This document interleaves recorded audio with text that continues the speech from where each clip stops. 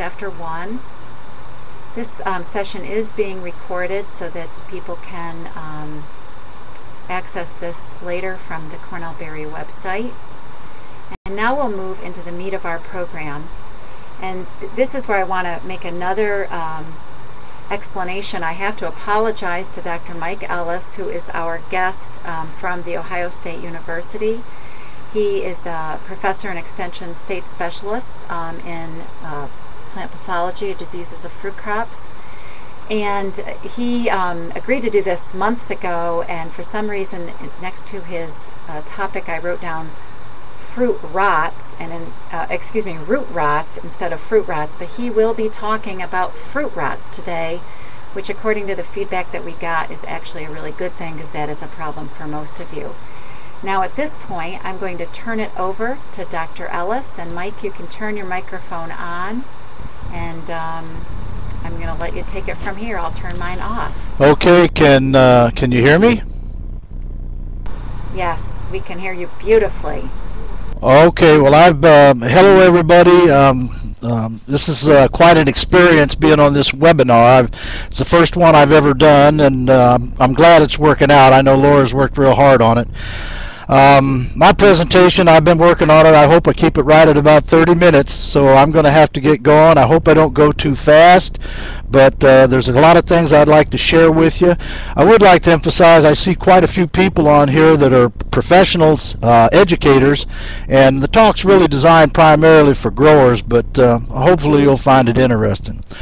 Uh, again, that's Mike Ellis. I'm Ohio State University. I've been here about 30 years, so I've, I've been working with uh, strawberry fruit rots for quite some time. Uh, how do I start the PowerPoint? Um, Mike, just you can yeah. Uh, just hit the little arrow at the bottom, and we can. Um, okay, I've got it. All right. I want to get rid of. All right. There we go. Okay?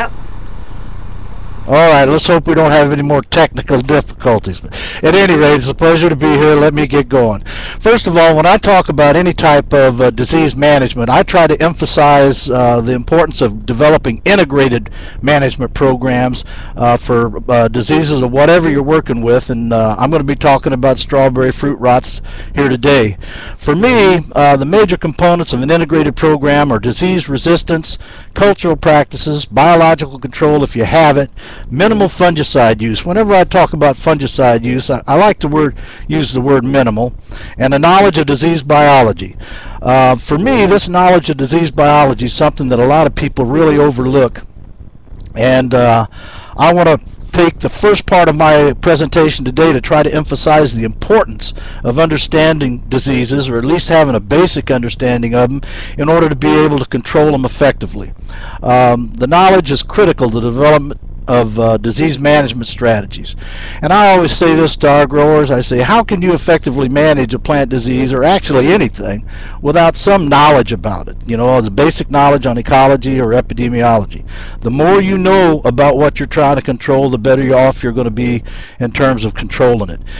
And one thing I try to emphasize wherever I speak to growers is they need to find out what resources are available that have this information. Now, most states have excellent information.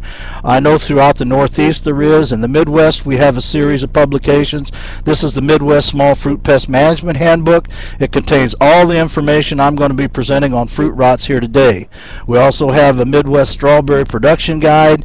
It has all this information in it. I'm not trying to sell these. I'm just trying to emphasize the importance of growers knowing what resources are out there and, and getting them and uh, looking at them, learning from them.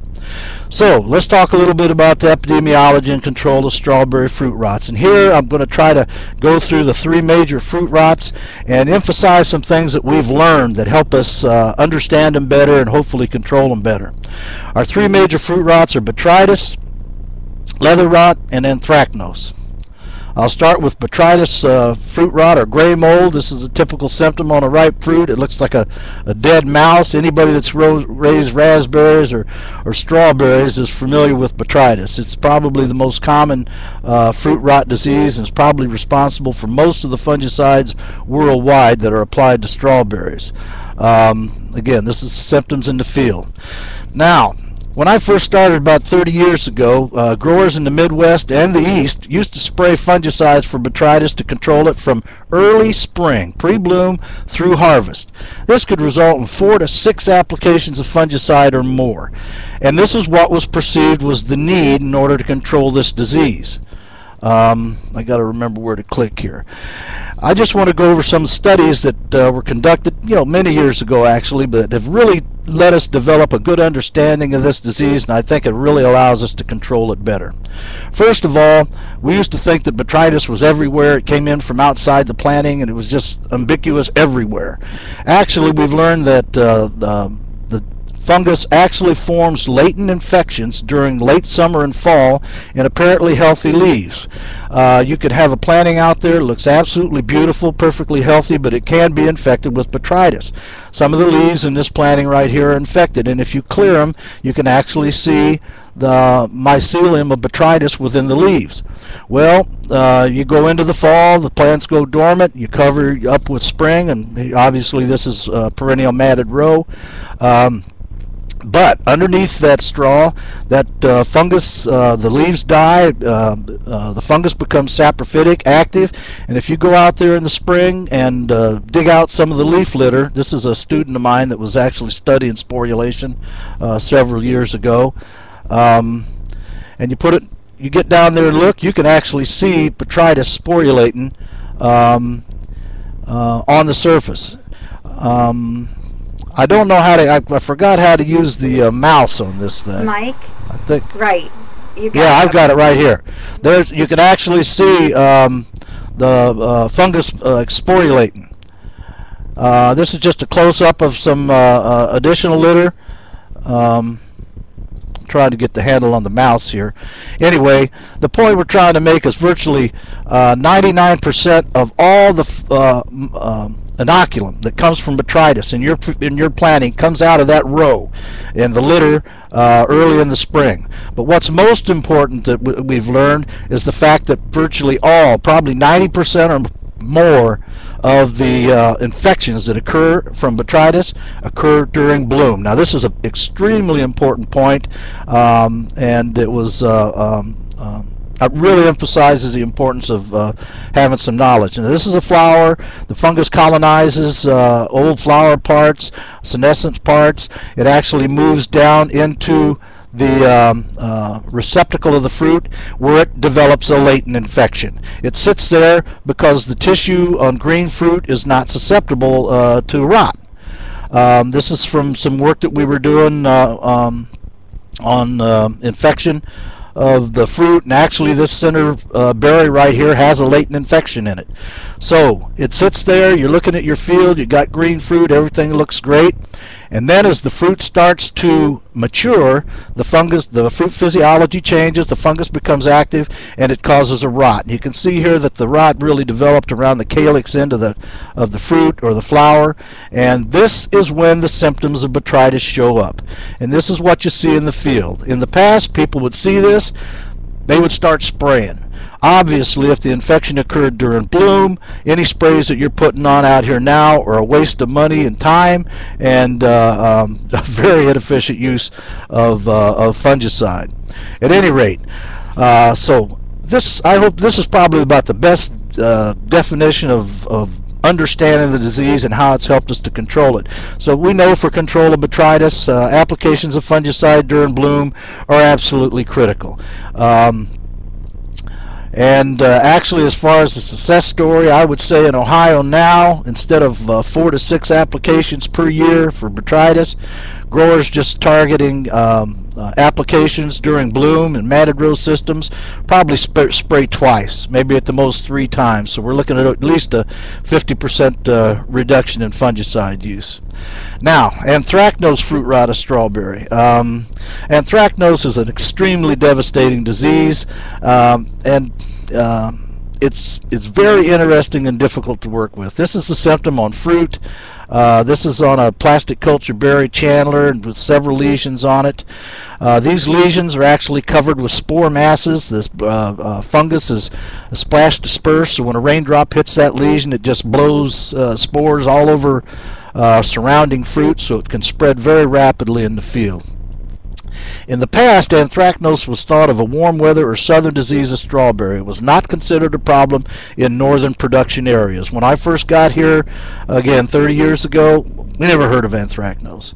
Anthracnose fruit rot caused by Colletotrichum was epidemic for the first time in Ohio in 1991. Uh, economic damage was uh, not observed prior to this date, as far as I know.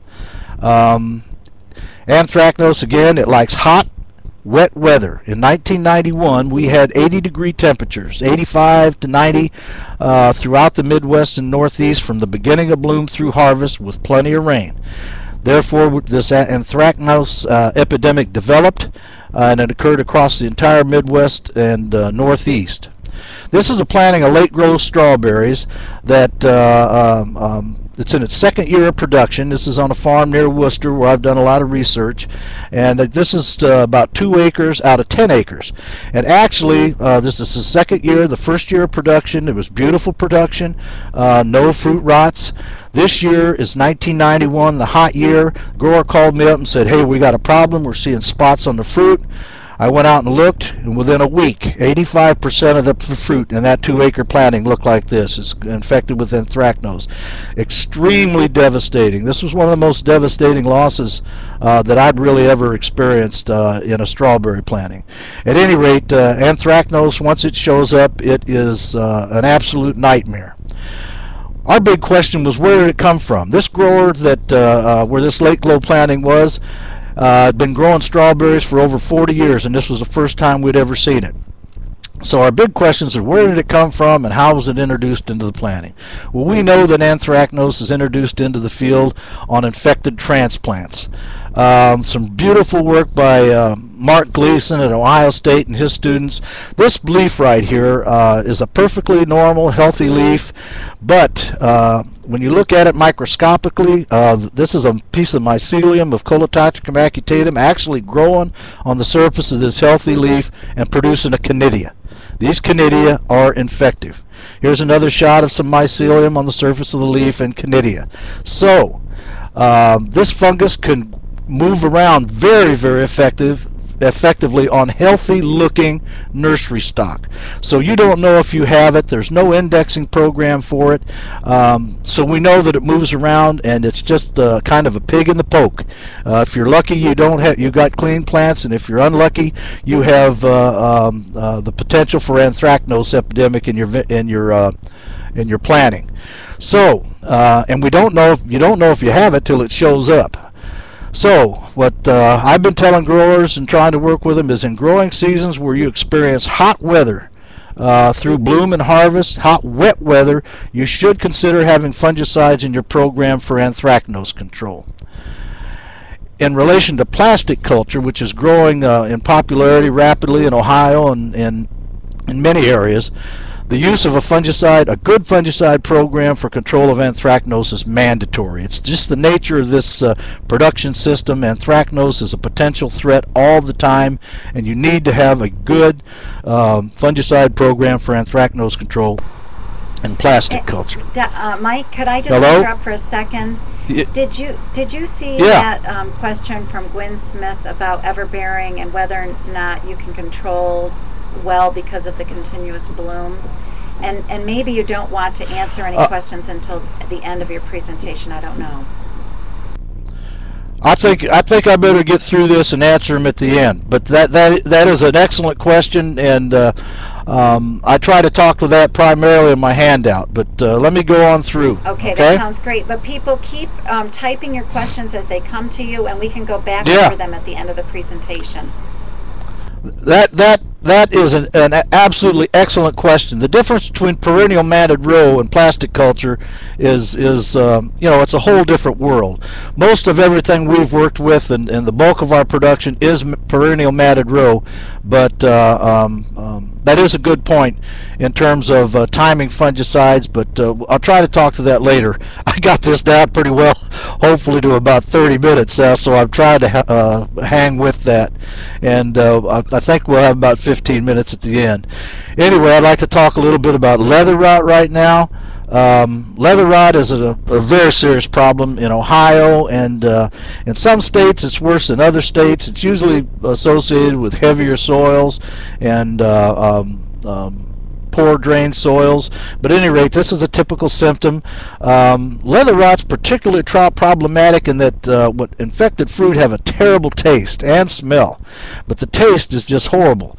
And oftentimes people will see this uh, uh, white area and think it's just underripe, cut it off, and go ahead and put the strawberries on their shortcake and uh, go ahead and eat it, and it tastes terrible. So they know where they got the berries, and they're a little bit upset about it.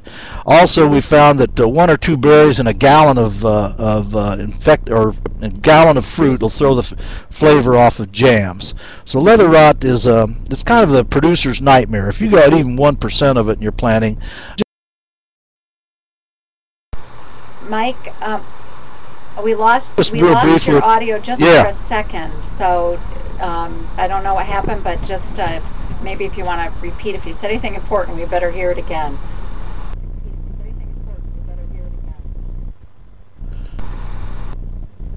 Well, I, I don't I don't know what cut out. I hope everything's important. But anyway, uh, at this point, I'm just going to keep going. I was talking about leather rot. Uh, I'll back up a little bit on that. But uh, leather rot um, um, is a kind of a nightmares producer, and the fact that it produces a very bad taste and uh, um, Sometimes the fruit doesn't really look like it's rotted. It just maybe underripe, and people will use those, and uh, it really results in some serious uh, customer relations when people get bad tasting berries. At any rate, um, when we look at the disease, uh, this is an infected fruit in the field. This is, uh, uh, in time, these infected fruit actually dry down and, call, and develop into these things we call mummies. It's actually a combination of the pathogen and the host. It's a hard, dry object. But inside of that thing is a thick-walled resting oospore of uh, Phytophthora cactorum. And this oospore can stay in the soil for 30 years. And I'll just bet you any place where there's been strawberry production, uh, these oospores are present in the grounds. But the key thing about this oospore is it's just going to sit there until you have saturated soil. So the key to this disease is saturated soil, water, water uh, saturated soil. Um, once you get that for a relatively short period of time, uh, they germinate and form sporangia, and these sporangia then uh, develop uh, what's called zoospores, little biflagellate uh, spores similar to a sperm cell uh, that can actually swim in the water, in the soil, and in puddles. And uh, therefore, the key to controlling leather rot is drainage. Anytime I see standing water in a strawberry field, I cringe. Um, here's a, uh, uh, fruit with uh, Phytophthora actually sporulating on it. You can bet that that water is just uh, full of zoospores, so every time a raindrop hits in there, it just splashes the healthy fruit and it's off and running. And you've got an epidemic on your hands. So understanding the fact that saturated soil is important for this disease should help us to control it. And for me, the, the major control for leather rot are cultural practices. Um, uh, primarily uh, site selection, good soil drainage, and the use of mulch. Now I just went over those things. That's kind of uh, like the first half of the talk. I just tried to show you some instances where, where understanding uh, or that demonstrate that when we understand more about the diseases, the better equipped we're going to be to control them. And I think botrytis is probably the, the real classic example where we've really made strides in, in understanding the disease and, and controlling it better. But moving on into an integrated uh, management program, Again, I tried to emphasize the importance of disease uh, uh, biology or a knowledge of it, disease resistance, cultural practices, biocontrol, uh, and minimal fungicide use. Disease resistance, uh, you know, it's a no-brainer. It's the first line of defense. If you got resistance, you use it. In my extension programming in Ohio, I say leaf spot diseases, you better be looking at resistance for those or you're going to be doing a lot of extra spraying. Um, and in the past, at least, we've had some excellent varieties with good leaf spot resistance. Unfortunately, we do not have good resistance to the fruit rots. There is some potential for resistance in anthracnose and some of the uh, uh, plastic culture or, or annual uh, varieties, but it's really not out there yet. So, if we don't have uh, uh, any resistance, we're completely dependent upon fungicide use or uh, cultural practices for the controls. So fungicides are very, very important for uh, controlling fruit rots on strawberries. Fortunately, we have an excellent arsenal of fungicides for controlling all the major fruit rot diseases, botrytis, leather rot, and anthracnose. Um, I could give you a whole day workshop on the use of fungicides. I do have a handout that's going to be available to print off. Uh, uh, Laura should be able to get it to you. Uh, at any rate, I want to go through and mention a few things, but this is going to be pretty brief. For fungicides for botrytis, we just, uh, uh, about 10 years ago, we started losing fungicides, and I was concerned we weren't going to have any, but we have an excellent arsenal of fungicides for uh, control of botrytis, and all of these, uh, these would be the um, uh, the Cadillac fungicides um, over on this side. Uh, um, all of them are excellent. Topsin I would probably put at the bottom of the list because uh, it's been around so long there's probably resistance. But Switch, Elevate, Pristine, and Scala, wonderful materials for botrytis. I like to use them combined with Captan early in the season. The combination may help uh, with some fungicide uh, uh, resistance um, prevention. Also, using Captan with it early uh, may help uh, uh, prevent some of the buildup of uh, anthracnose in the planting um, on those uh, apparently healthy looking leaves. Uh, anthracnose fruit rot, uh, let me mention one other thing. All of these fungicides are in different classes of chemistry, so they can all be alternated with each other in resistance management schemes. For anthracnose, in the past we had Captan and Thiram, not really very effective. Captan's not bad, but you got to spray an awful lot of it if you've got a problem with anthracnose. Fairly recently, the strobilurin fungicides abound. Um, trying to use my pointer. Bound, Cabrio, and Pristine were introduced. These are really Cadillacs for anthracnose and really gave us some effective tools for controlling it. Switch is a fantastic material for botrytis, but it also does a good job against anthracnose. So fortunately, we do have some good uh, fungicides to help us uh, in control of anthracnose. Leather rot, um, we actually have quite a few. In the past, uh, Captan and Thiram, again, were the only things that were available, not very effective, but uh, Ridomil's been around a long time, but it's very effective for leather rot control. The phosphorous acid fungicides, uh, Phostrol, uh, Agrifos, Topaz, ProPhyt, and Aliette are very effective for leather rot control. And the strobilurins, again, uh, remember these strobilurins. These these things are excellent uh, fungicides to help us with strawberry disease management. Azoxystrobin, Abound, Pyraclostrobin, Cabrio, and Pristine. Pristine, um, all of these are excellent for leather rot as well. Um, Again, I have some suggested guidelines. They should be you should be able to print them out uh, uh, at the end of this presentation. If not, contact me and I'll be happy to get get them to you. But uh, I've tried to to outline everything, all my uh, best recommendations for using fungicides for controlling strawberry fruit Great. rots. Yes, Mike. hello. Thank you so much. Um, that was very good, Yeah. and I um, I just want to let people know that when we move to the very final portion of this program, we will be able to download your handout, which is very comprehensive. So I'll point directly to that to folks. Mhm. And we do have a couple of extra minutes, so if people would like to ask um, Dr. Ellis a question, this is the t- this would- would be a good time. So other than that one question from Gwen Smith about uh, everbearing disease control, well, they're probably thinking about it, and we'll have another opportunity at the end of the program so that you can do that as well. Um, I just I wanted to check. I I don't see Scala listed in the New York State guidelines um, for use in New York State yet, so I just wanted to mention that for New York State growers. Um, and there's a couple people typing right now, so maybe they know better. They probably do. Um, but while we're getting that answer, let me change this and we'll. Uh, okay. Okay, um, Kathy Heidenreich is answering that, and Scala is um, listed in the PMAP, so it is labeled for strawberry gray mold. And Alan has a question. I had I had a couple of uh, uh, just other real quick comments. First of all, in relation to these uh, strobilurins, abound in Cabrio. They're the best for anthracnose fruit rot. Mike, we lost you for a second. Rot and depression. Um, Mike, we're losing your audio for some reason. And one last, I, I had some other stuff, but Okay, keep can going. you hear me now? Yes, we can hear you now. I don't know why it went Can you out. hear me? Yes. Yes, we can. Well, uh, actually, I had a couple other points to make here. Okay, Okay, great. pristine. Pristine is an outstanding material. Can you hear me? Yeah, you cut Hello? out a little bit. Pris- Mike, go ahead. All right, all right. Pristine uh, is an outstanding material for controlling strawberry fruit rots.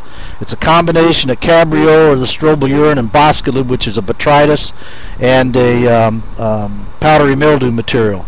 But it is the only one fungicide that provides excellent control of all three of the major fruit rots: botrytis, anthracnose, and leather rot.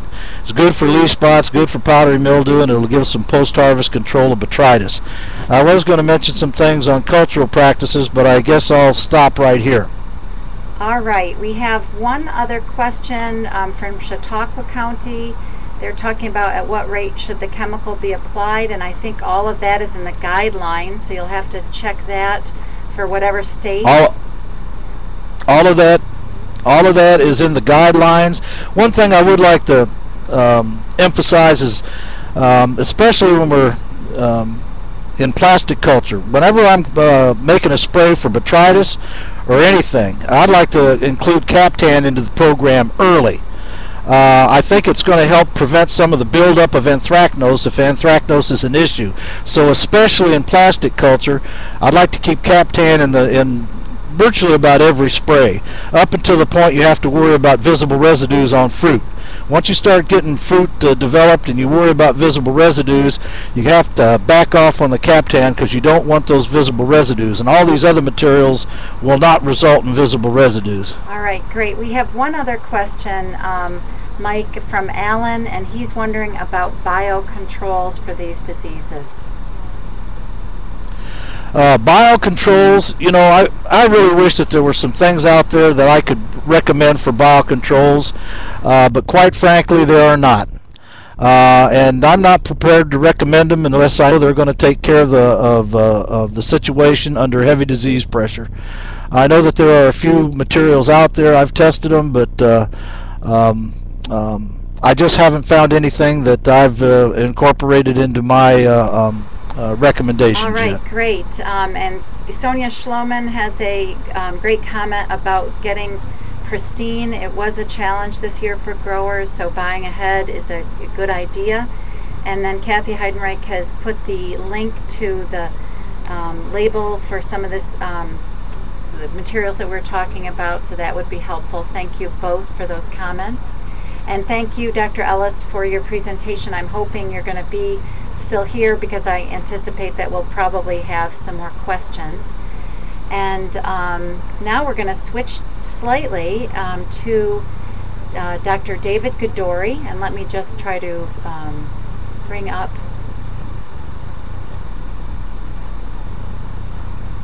Oh, I think this is the wrong one. Hold on, this is the wrong one. Sorry. that was a practice one that we had. Here we go. Sorry about that, Dr. Gadoury. Let me try to get your share screen on. Um, Dr. Gadoury, we're going to be looking at his presentation right off of his computer because he had a couple of graphs that didn't come through, so he practiced this earlier and it worked beautifully. So let me see if we can find that. You know what? I think I'm going to bring up a brand new SharePod, um, David, and then you can just go right to your computer screen. And I'll let you turn your microphone. Yeah, there we go. Perfect. And David, you could just click your microphone on when you're ready. Way to do it this Great. Um, Dr. Gadoury is a plant pathologist with Cornell University. Um, working out of the Agricultural Experiment Station in Geneva, and he has done a lot of work with strawberry powdery mildew, and um, we're very pleased to have him. So, uh, David, I'll just turn this over to you. Um, David, if you want to toggle on your speaker, and Mike, if you could toggle off yours.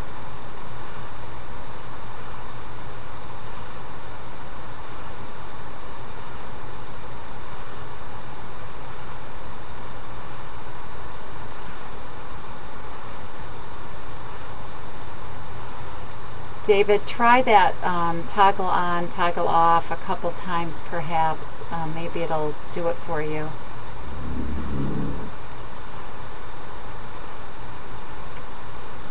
We, I'm not hearing you. I don't know if anybody else can hear you.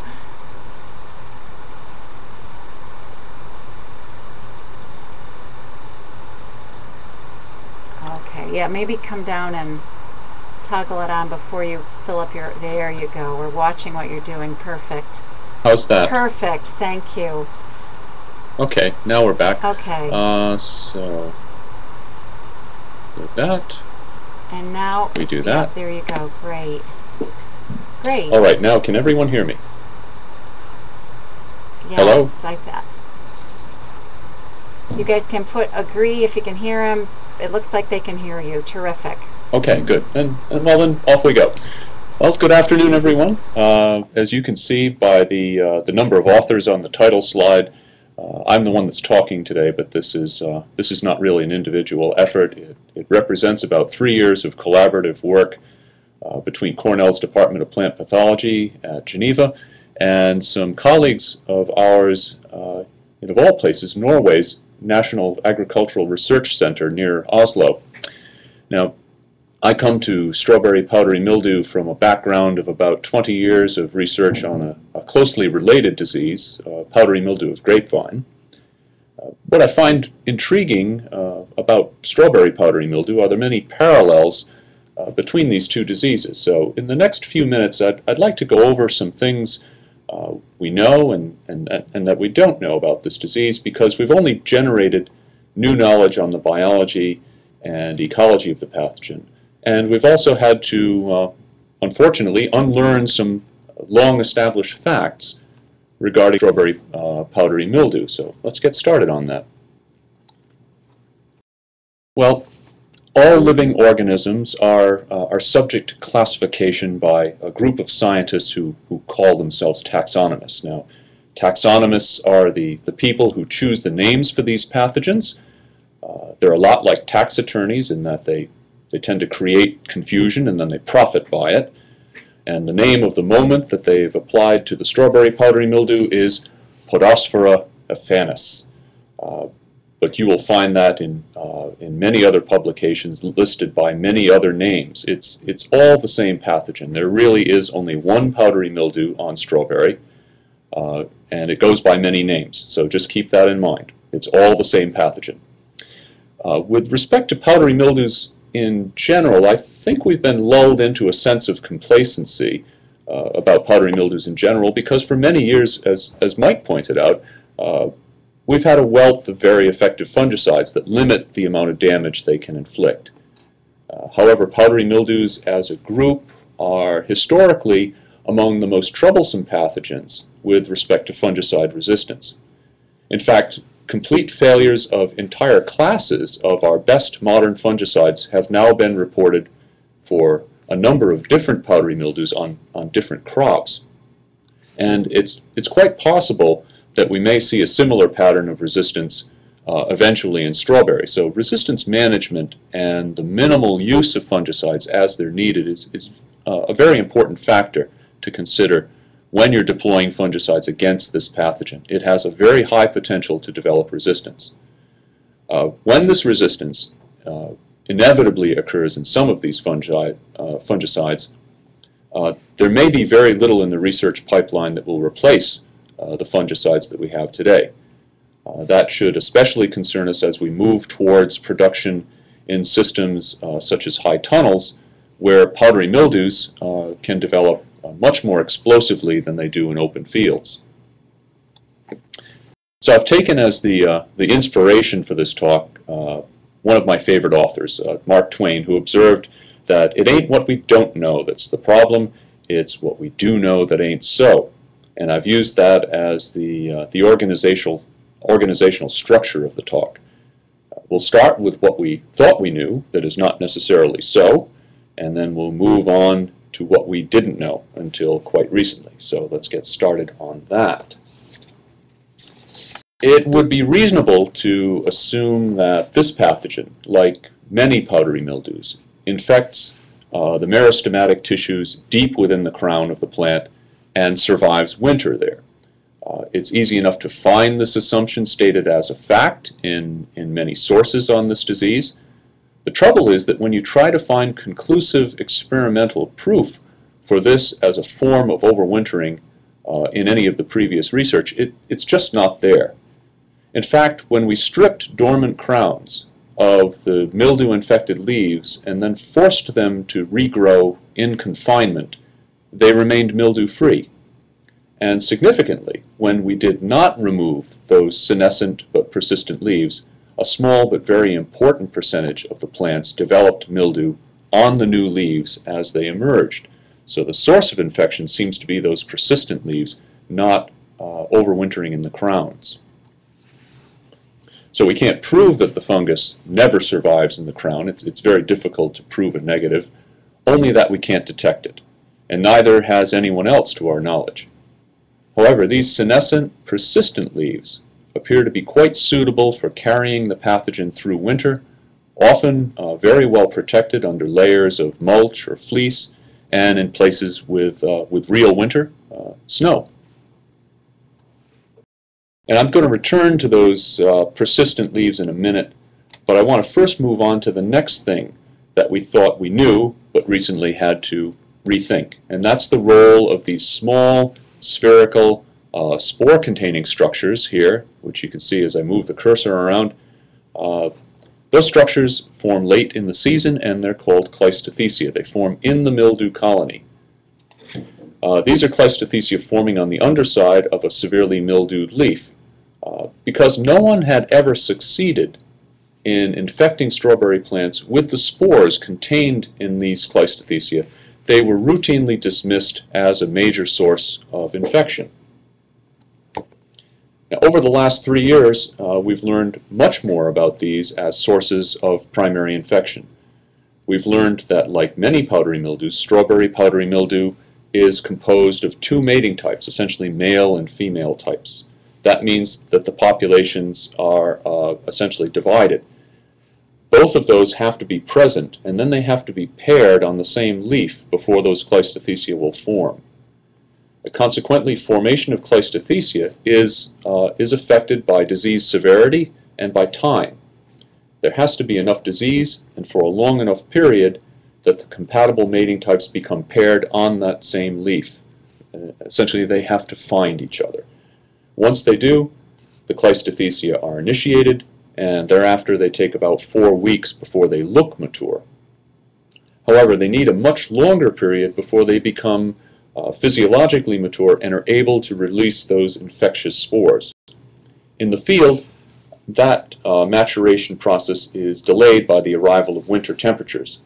Uh, but in spring, the when the strawberry plants resume development, so do the cleistothecia.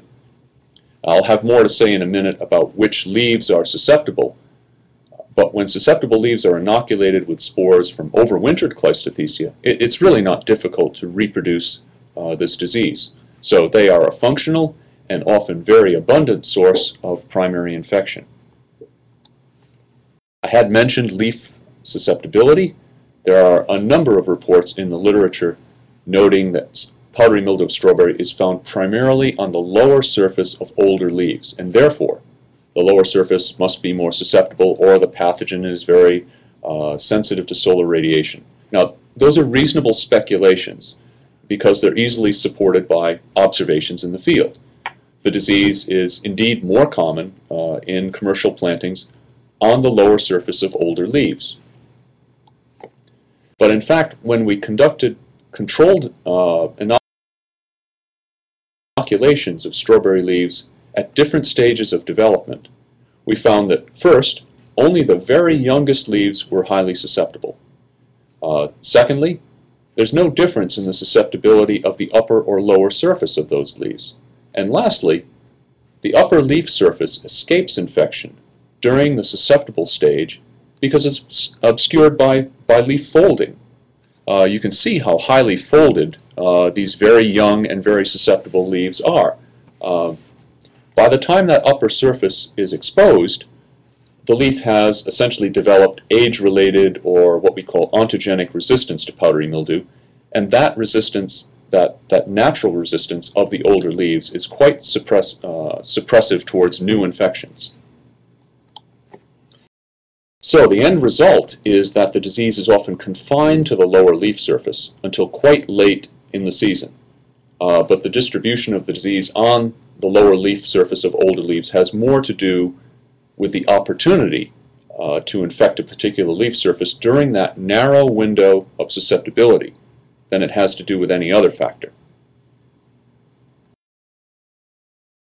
Now I said I would return to the subject of uh, the senescent but persistent green leaves that often survive winter. Uh, strawberry is not a typical deciduous perennial plant that sheds its leaves in autumn. Uh, in powdery mildews of many, if not most, uh, deciduous perennial plants, the Cleistothecia are readily dispersed by rain from colonies on the leaves, uh, and then they tend to attach to the bark of those perennial plants where they survive winter.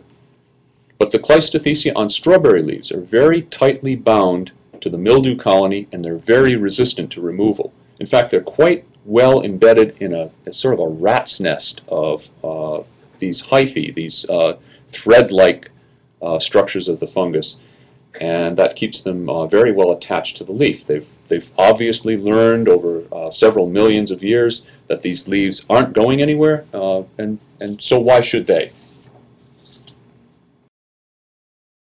Well, if the Cleistothecia are one source of primary inoculum, and the colonies overwintering on the senescent leaves are the only other source, what would happen if we eliminated both? And we've just completed the, uh, the third year of field trials in uh, both New York and Norway uh, to try to answer that question. Without getting into too much detail, we essentially established pathogen-free plantings from either seedlings or from tissue culture plants, and then we left them unsprayed for powdery mildew. Now, even though these were within 200 yards of severely diseased plantings, and they're located in, in areas where uh, both commercial strawberry production is present, and there are numerous wild strawberry plants. Those plantings established from uh, clean plants, uh, they started clean, and they developed only traces of powdery mildew during year one, even though they were never sprayed with fungicides. And these were highly susceptible varieties. While nothing lasts forever, uh, when the plants were left untreated for two years, uh, the disease eventually increased to severe levels on the foliage and occasionally on the fruit. But the experiments clearly showed that the benefit uh, is there from starting with mildew-free plants. Uh, the level of disease was influenced far more by the resident uh, pathogen population than by contamination from outside sources. So what are the applications of, of this new biological and epidemiological information on pathogen, uh, on the pathogen? First, there are substantial benefits to be gained from starting with mildew-free plants and taking steps to keep them in that condition for as long as possible. By doing so, uh, you may first avoid contaminating the planting by introducing the pathogen on senescent leaves. That's one source of inoculum you can uh, greatly reduce or even eliminate. Secondly, you can prevent the formation of Cleistothecia, perhaps indefinitely, as their formation requires severe and protracted disease because the pathogen population is composed of two mating types. So unless the disease gets severe or persists for a very long period of time, uh, those Cleistothecia will not form. That's the only other source of primary inoculum. Uh, thirdly, you'll improve the performance and increase the longevity of the fungicides that are applied and reduce uh, the risk of fungicide resistance. that's going to become increasingly important as uh, the number of available fungicides dwindles and the remaining options are inherently uh, perhaps less active against this pathogen. Now, additionally, uh, the rapid development of ontogenic or age-related resistance in strawberry leaves means that it's the very youngest foliage that has to be the target of the fungicides directed against powdery mildew. If you effectively uh, protect those disease, they very soon become resistant and uh, will no longer require your assistance. If you fail to do so, there's very little that you can do to eradicate the established and very well protected colonies on the lower surface deep within the plant canopy. And so I'll, I'll leave you with these words of wisdom. Uh, start clean and keep it clean. I'll thank you for your attention and I'll be happy to answer any questions in, in whatever time remains. And I haven't touched on uh, varietal resistance, but we can uh, deal with that in the question period. Thank you. All right. Thank you so much, David. And um, I see a couple of people typing, so perhaps we're going to get questions. Uh, Dr. Mike Ellis and Dr. David Gadoury are still here for some questions, so please um, take the opportunity. We have a, a little bit extra time, and um, they were two terrific presentations. I do want to, while people are typing, I do want to say that some of you may have had some somewhat broken audio and I am not sure why that happens. I think it has something to do with bandwidth um, and depending upon the usage, perhaps you're at a major institution and there's a lot of usage that may affect why um, why you're not getting consistent audio and I think it's different for every location. Uh, one thing that I can say is that we did find that people who are on a wireless connection that does seem to result in a more broken audio. So um, that that's something that you might want to consider. Um, Molly Shaw has a question here. It says, do dormant plants from the nursery tend to come with powdery mildew on the few clinging leaves? And how do you make sure you start a planting without powdery mildew? And uh, are there any uh, owners of uh, strawberry nurseries on the line here before, before I get into trouble? okay. Uh, there's no way of knowing uh, without a microscopic inspection of the plants whether or not they carry powdery mildew. It's very likely, though, that they do, uh, although the nurseries tend to intensively spray those plants. not so much in the United States, but in Europe, the nursery plants that are heavily sprayed are thought to be one of the primary means by which fungicide-resistant strains are introduced. Uh, and that becomes a particular problem in the high tunnel production, which is much more common in Europe. Uh, here, I, I couldn't say. Uh, certainly, if you're getting tissue culture plants or plants grown from seed, uh, there's much less of a possibility or a likelihood that they're coming in with powdery mildew. Uh, otherwise, I think you uh, you just take your chances.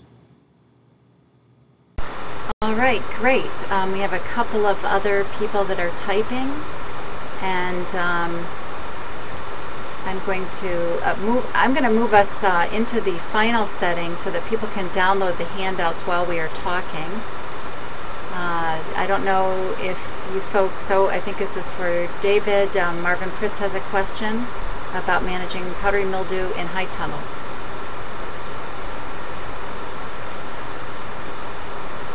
All of the things that I mentioned regarding the management of powdery mildew in, uh, in field plantings become much more important uh, in high tunnel production.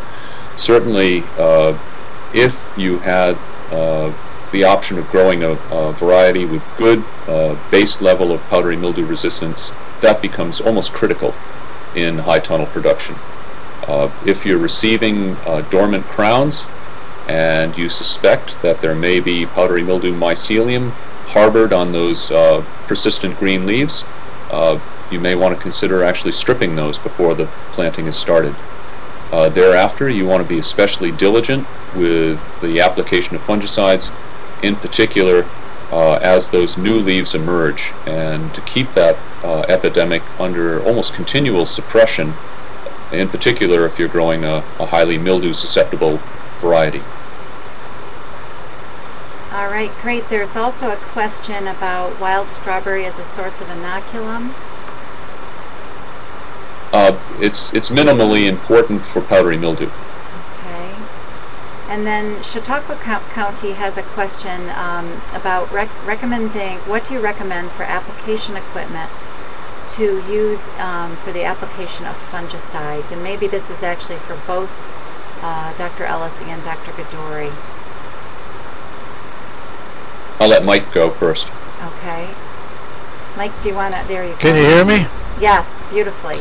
Um, you know, when you get into application equipment, that's kind of a science unto itself. And ever since I started working with strawberries, this question comes up. You've got a range from people putting uh, materials on through the irrigation system, through all kinds of different sprayers.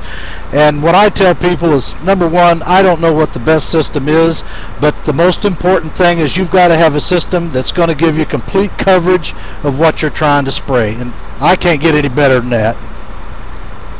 I would say only that the the the timing of those fungicides and the choice of the materials uh, in conjunction with all of the other things you should be doing to manage powdery mildew are probably uh, more important than the particular piece of equipment, assuming the equipment is suitable for spraying strawberries in the first place.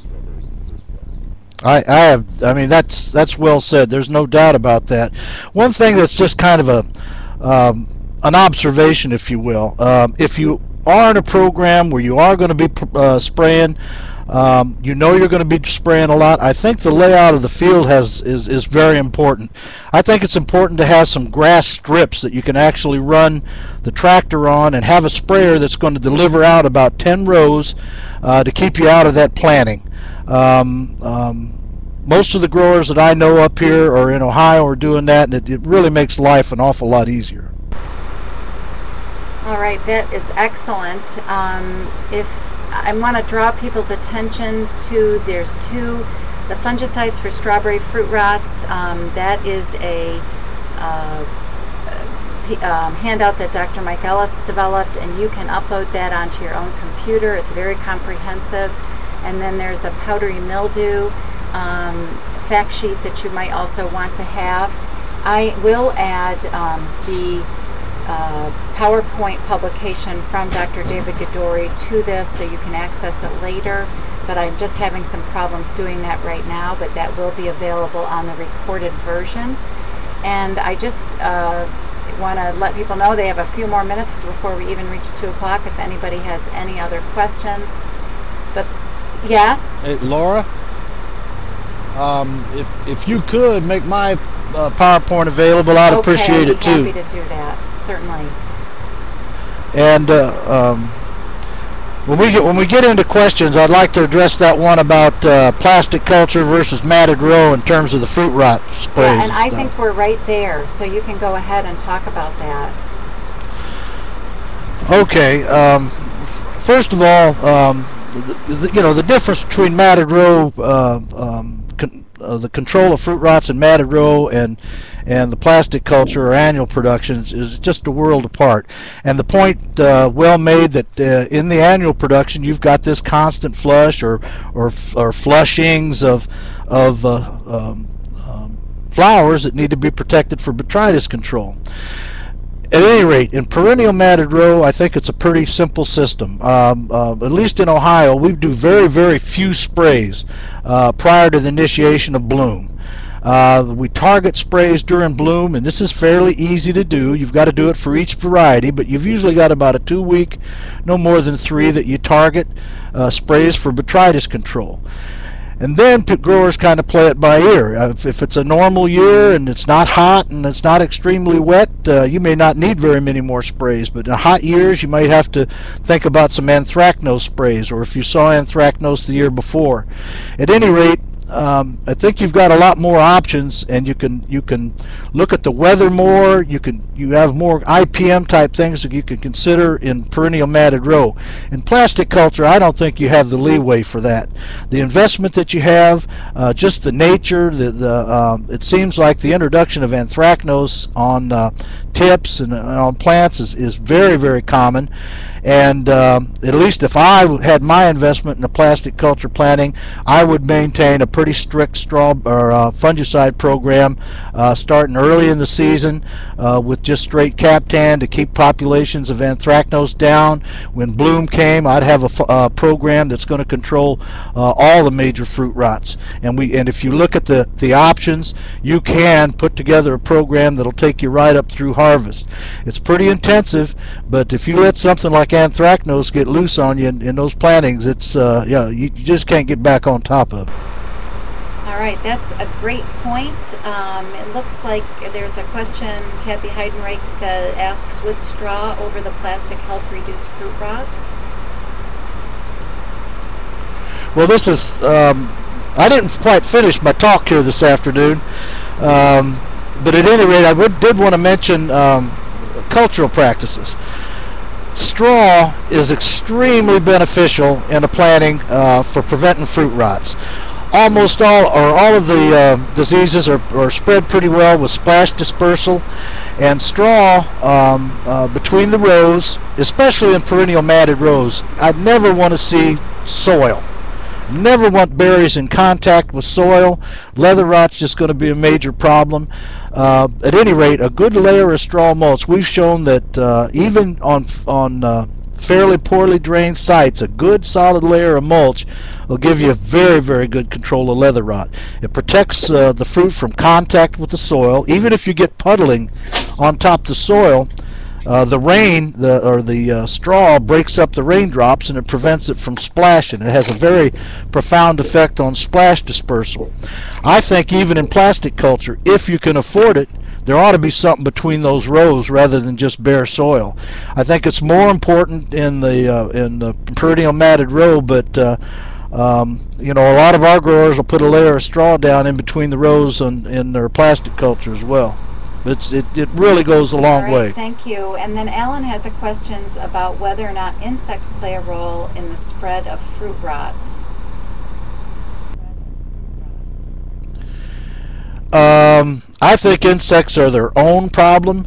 When I think about uh, controlling these fruit rots and, and the development of these fruit rots, insects to me uh, are not a, a, a major uh, factor in their spread.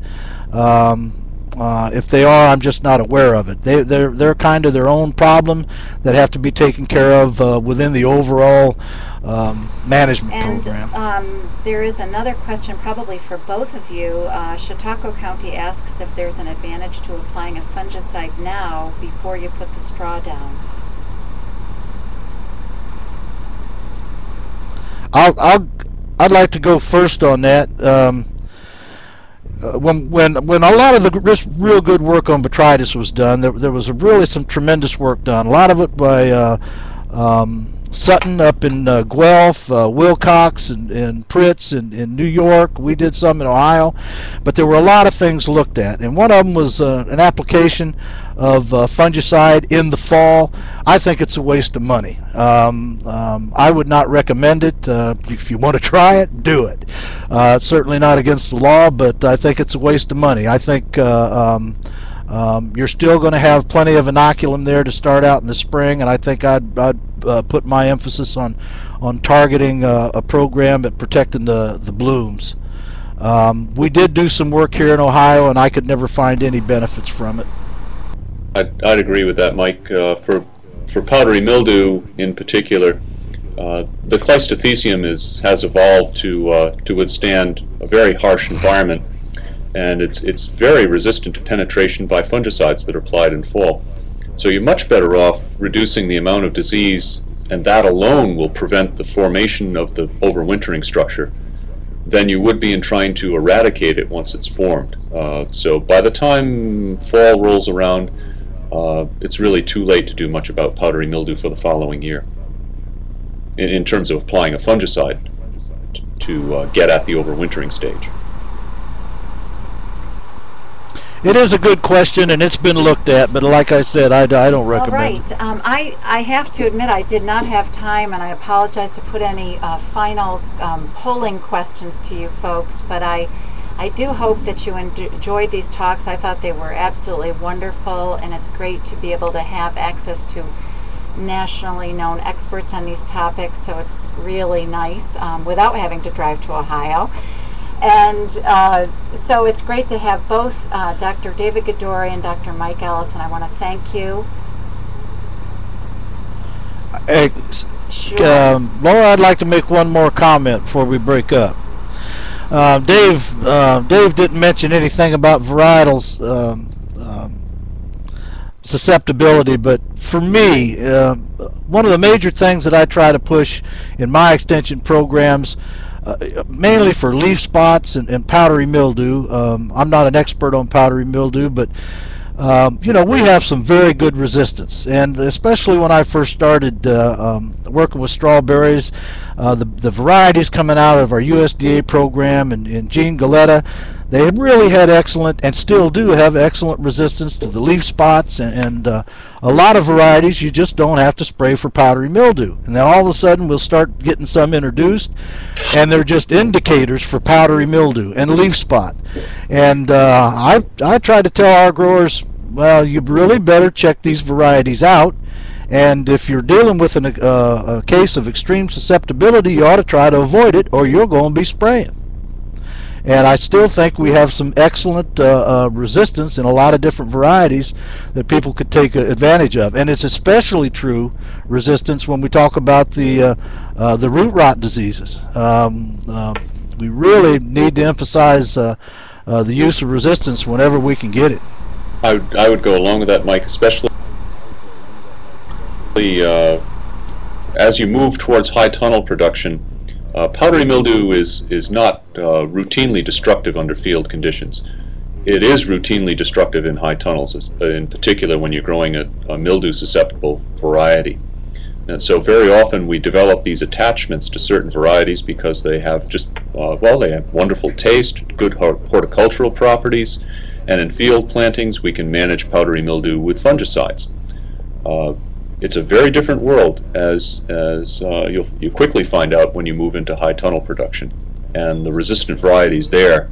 Uh, it, it, just makes a lot of sense to start with that as the as the base of the disease management program. All right, Th those are wonderful points, and there is a question about um, powdery mildew resistant varieties. Um, in our uh, in our particular guidelines, we don't have any listed. We'd have some that are definitely um, susceptible, and that those would be listed in the guidelines. But maybe um, maybe Mike or David, uh, you have some that you know are actually resistant to powdery mildew that you could.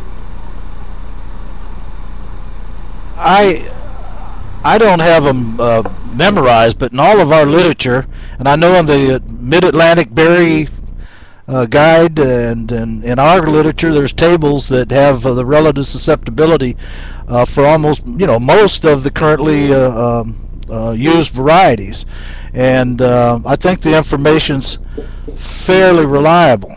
Um, I, a few kind of stick out in mind that are extremely susceptible. This Darselect is one that is uh, is really an indicator for powdery mildew. But that's another reason I like to emphasize, you know, having these resources, this information, having it and uh, and referring to it. But I'm sure that uh, you all have some information on relative susceptibility of the varieties to leaf spots and powdery mildew. Yeah, I, I would check the uh, the extension resources online or the published resources sure. to see uh, not only what's resistant to powdery mildew, but what has some pretty broad-based resistance to some of the other diseases as well. Uh, you don't want to have a resistant variety to powdery mildew and then you know take comfort in that as it as it rots. Oh yeah, you know one thing. I was up talking to the growers in Nova Scotia several years ago, and I didn't realize, you know, leaf scorch, it just never seemed like a serious disease to me. Never saw it much. It's because we have excellent resistance. I guess up there it's just a horrible disease, and if you don't have leaf scorch resistance, you don't you don't raise strawberries up there. So. Well, thank you guys very much. I will try to get my hands on a table and also post that in this file share so that people can access that quickly for both uh, some of the other diseases, um, leaf leaf spots, as well as fruit rots, and certainly powdery mildew. We'll try to make sure that that is available to all of you. Um, again, I want to thank the speakers. I want to thank all of you that have joined this webinar.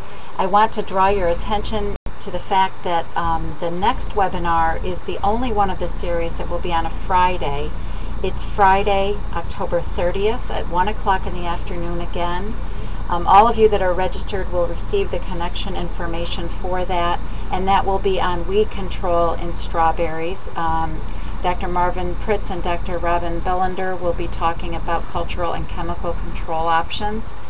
And um, I also want to urge those of you who have enjoyed these to please um, let other people know, especially growers who might be somewhat reluctant to try this particular uh, form of program delivery. We think it's very accessible, and I think they're going to be pleased with how easy it is and the quality of the lectures. So please talk to your colleagues and other growers and farmers. Um, we'd love to have more people. We have room for um, about 100 people to, to join in on one lecture as a live lecture. So I just want to urge you, we're going to do a little PR blast so you'll hear more about us in the near future. And thank you again uh, for attending.